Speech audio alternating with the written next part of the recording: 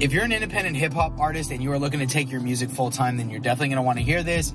This is going to be straight documentation from somebody, me, who's making a full time income as an independent hip hop artist. I'm really not trying to say it's a flex. I just remember my 17 year old, 18 year old, 19 year old self needing to find people out there that could show me it was possible. And I'm going to share with you exactly what my plan is for next year, 2024, and how I'm going to make it my first calendar year that I do six figures in my music business.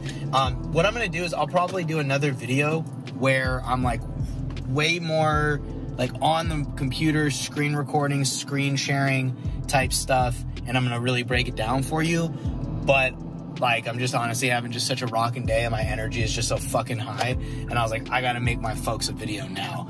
So that's why I'm doing it driving. You shouldn't do that. So anyway, let's get into it. Um, you don't know by name by now, my name is Leezy the Gifted. I've been doing music seven, uh, 13 years, and I've been producing for six years.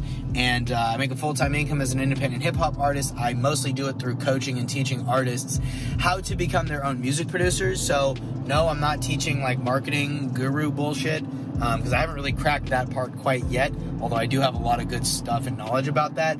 Um, but what I teach people is how to become their own music producer. So this video is going to really be out how I'm going to plan out my next year and um, kind of just share with you where I'm at and explain to you how I was able to get to this point. So now I'm at the point where I'm doing anywhere. I'm doing. I'm not going to share my income numbers, but I'm doing. I'm doing good. I'm, I'm making a good amount of money, and uh, it's really cool but I wanted to share with you really the number one skill was that I'm able to produce my own music because it opened up so much more doors to me, doors for me. So this video is going to be very like I would say business strategy, business philosophy kind of a th- kind of a thing. So if you're an independent hip hop artist and you're very entrepreneurial and you want to really like kind of understand business stuff, this is going to really help you with that. So look, here's the deal. I was already starting to grow revenue and generate revenue as an independent hip hop artist through paying for ads on Facebook to get people to buy my CD. The problem was building a low ticket funnel like that, meaning a funnel where people just pay like $9 or if they even buy a shirt or a, or a piece of merch, it's just really, really, really hard to become profitable and scale. So, not to say that it's not possible. I mean, and if that's what you're really trying to do, then you can build a business off that. I know plenty of artists who do that. Um, and then they tour and all that stuff. But for me personally, a couple of things happened. Number one, I was like, look, as a straight business guy, like just somebody who's really passionate about business, it seems very hard to become profitable and scale a low ticket product. Then I was like, cool, if I do coaching, and like I know a lot of these guys who fail at one thing end up coaching at another. I'm, I'm coaching on something I know how to do. I've been doing for years. It's creating music. So, I because I, I, didn't want to be one of those fake coaches who who doesn't know how to do music marketing, fails at it, and then becomes a music marketing coach. But I, I, I am proficient and very good at producing music, so I, I can do that, and then I'm not a fake guru, thank God. So anyway, um, so I ended up building this coaching program. Doing really well with it, and uh, it's awesome and it's super fun. And so um, the way that works is people kind of come in, they become music production clients. I coach them for 90 days, and honestly, my clients get insane results. Like it's pretty cool. So if you're an, if you are an independent hip hop artist, you should be producing your own music. If you want to do that, click the link below, book a call. Um, you'll be literally making beats, mixing, and mastering your own songs in 90 days, and that's going to open up a lot more doors for you. And I'm going to share with you the doors it's opening for me. So like this always happens in kind of the Q4 time of the year. Like we're in September now, and kind of in that September October mark is when I start kind of thinking and gearing up for the next year. I have never been more excited about my next year than I have been today. and it's so funny. A year ago, I was making two thousand dollars a month. I was twenty thousand dollars in credit card debt, and I was looking at next year saying to myself, this is going to be the year. I, this is going to this year I'm going to work harder than I've ever worked in my entire life and it's going to really suck for a while, but I am not stopping until I get to the point that I know I can be at and I and I literally fucking it's the first year I've hit that point. I'm like, hell yeah. Fuck yeah, like finally, dude. Shit, 13 years in the fucking making, baby. Like, damn, like it took long enough, right? Um but anyway, so yeah, I got to that point and now I'm looking at next year. So this year was not about the amount of songs I released. It wasn't about my personal artistry and the amount of songs I released. This year was about, okay, how do I build my business? How do I build an income stream with my music? Like, how do I do that? How do I build an income stream with my expertise? That's high ticket. So, I released music this year. Um, I don't know exactly how many songs. Let's see. I released Count Me Out. Then I released I'm the One. Then I released Samo with my friends Jay and Gabe. Then I released Too Soon. Damn, is that literally it? I only, yeah, so I only released four songs. I do have a new song coming out that I'm trying to put out in October, but I do want to have like a proper release strategy. So it'll literally only be five release songs for me uh, for the year. It's not a lot, but I wasn't focused on that, and I, and I only I only did two shows, but I wasn't focused on that because I was like, look, how am I gonna how am I gonna strike gold? How am I gonna make big money this year so that I can open up the opportunity for me to actually put money into my artistry? And I did that. I literally I literally hit that. It's crazy. But uh I was getting off track. I just it's crazy. I get emotional when I think about it. It's like it's freaking it's nuts that I was able to do it. Yeah, it's pretty cool. So I got like just just thinking about my journey, man. So but now I'm at this point, I'm like, cool, the business is rolling and I've got a process down. And uh, getting to the point where I'm going to start releasing a lot more music again. And I was like, literally, like, so now I'm at this point where I've got a team around me um, that's helping me grow the business. So I'm not just growing the business by myself. Now I'm at what's what I call the point of scale, which basically when you get into business, you need to get to a point. Okay, it's like it starts, you have an idea. Obviously, there's like ideation.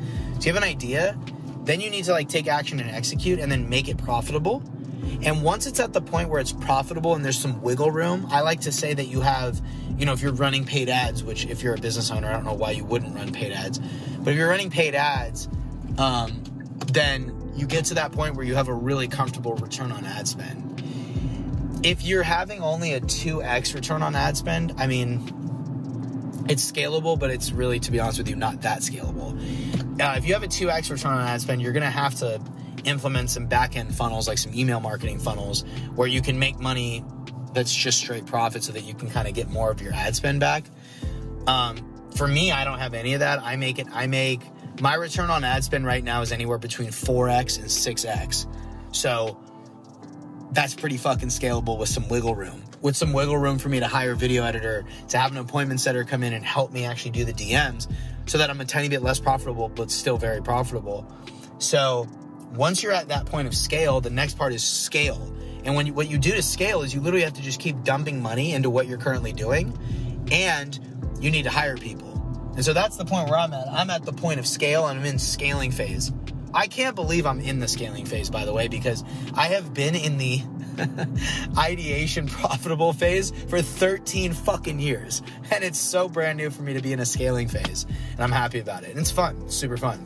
But now that I have a team around me, it's opened up my time and I'm still able to make money. So what I'm doing with my spare time is I'm making music. I'm waking, still waking up at 5 a.m. and uh, still kind of getting my morning ritual. But instead of me having to go do a monotonous task like sending DMs or anything like that, guess what? I'm making music. I'm getting in the studio. I'm making beats. I'm writing lyrics. I'm recording vocals. I'm I'm mixing. Like, and I was literally looking at it, looking at the amount of songs that I have in the vault of like beats with choruses, beats with a chorus and a first verse recorded, like all of that. Just those two things. It's honestly, oh, dude, it's so stupid. I have a lot of songs, and I have an album, meaning like I have an album that is fully recorded and mixed all I need to do is go back in, revise the mixes. It's like 11 songs, an album. And I've been holding on to it.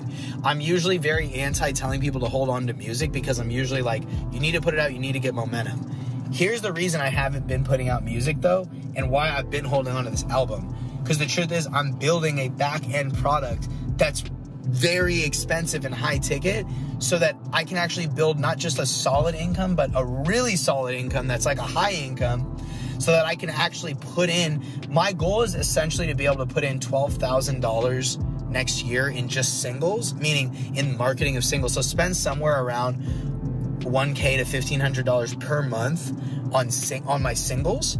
And then I also, like, this is a big stretch, but I also want to have at least at least a $10,000 budget on the album on marketing. I know exactly what I'm going to do for it too. But I didn't want to just drop albums because I'm like, look, I'm literally building an income stream with my music. So I'm going to get that built first. And then once I have a solid income stream built, that's when I'm going to start putting music back out again. And not just an income stream, but time. I needed time to make the music. Like, if I had time but didn't quite have a ton of money, I would still just put out music. I just wouldn't spend a ton of money on advertising, but I'd still put it out because I love putting it out. Which is probably what's going to happen in October. October, I'm going to drop a new song called Summit. I don't think I'm going to put any money into ads, but I'm just going to rock it organically, and that's fine with me. But like, the truth is, I'm on pace to. I don't like to say numbers, but I'm on pace to make a lot of money next year, and I'm, I'm honestly on that pace right now. And so I'm looking at next year of me really popping off my personal brand. This year's goal work extremely hard, grind, go through the hardest working year you've ever gone through, and make a lot and set yourself up. Next year is scaling and building personal brand. Oh my God. I'm about to put out a lot of music. I'm about to drop a lot more. I mean, I'm already dropping a YouTube videos, Instagram reels. I'm going to scale the actual money making side and I'm going to scale the personal brand side. Oh my God. Yeah. Dude, a year from now, oh man, I, I'm, I'm not sure, but my goal a year from now is to have the strongest or one of the strongest personal brands in the music industry a year from now. I think that that's going to happen. The way I'm growing my followers, the way that I'm pumping out content, the way I'm setting up my time so that I can actually like make a ton of music, and the way that I'm able to make money and put that back into the growth of the music and the personal brand. Yeah, I honestly don't see why this train is stopping. Ha! Super funny. Uh, anyways, basically that's gonna be it for the video. It's really documentation storytelling style. It's not the sexiest format. I mean, I'm freaking driving, but I just want to share this with you, and hopefully you get something out of it. And honestly, the thing I want you to get out of it is I want you to know it's possible. I want you to know that, listen, I, I'm, I'm, I'm still that 17 year old kid. Like, I'm still that, I mean, I'm not the same kid. I'm 30 now, or I'm about to be 30. But listen, I started out as a 17 year old kid who didn't know what he was doing in his music career. I didn't play an instrument, I didn't produce music, I don't have connections in the industry. I basically did it, and I, I did it with my friends. My friends and I would just make music, pull up on the car, have fun, you know, if you know what I mean, and, and, and, and just freestyle and just make songs. And it took a lot of perseverance and it took a lot of grit.